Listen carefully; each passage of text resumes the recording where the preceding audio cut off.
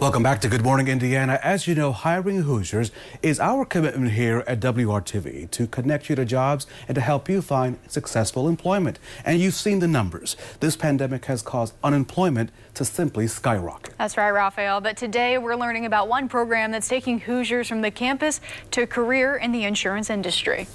These pictures show what matters most to Ivy Tech student Jamie G. I'm a mom, I have children, and I'm married. Along with her personal life, she's also working toward a career change, and Ivy Tech's insurance program is helping make it possible. So now that they're getting a little bit older, I'm able to still be involved, but at the same time, still have the career, which is wonderful. G is learning how to work in the insurance industry, and even though classes are virtual right now, being able to know that I have a career, it isn't just, okay, I'm, you know, getting more certification, more experience, more education. I'm able to take those skills and automatically apply it to the new career I'm going to have. She says other students in the program share a similar sentiment. Like mine did, where either somebody is not working currently because of COVID or somebody's not working because, uh, they have their own sicknesses or illness or hey they just want a career change. How does it really make a difference in these students lives? Going into like insurance sales marketing there's a lot of positions that are available in this industry. That's so nicole bradbury. She's the business program chair with uh, ivy tech. she says the insurance certificate program has more than 200 students that enrolled in october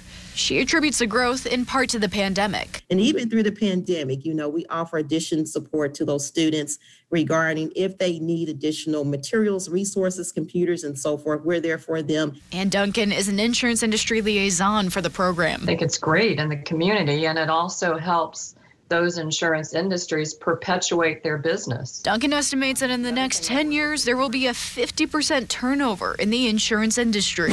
She brings about 40 years of experience in the business. Insurance industry is a very stable and quite flexible industry. That's part of the reason Jamie G wanted to go through the program. It's an opportunity she encourages others to be bold and try. You're going to get the support you need. Don't feel intimidated.